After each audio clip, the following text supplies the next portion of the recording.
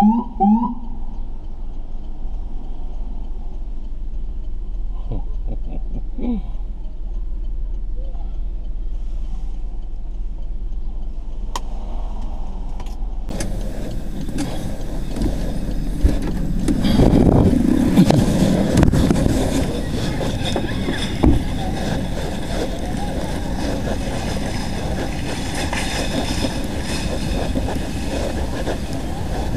That's called harassment, man. Why y'all following me? Y'all turn around just to follow me.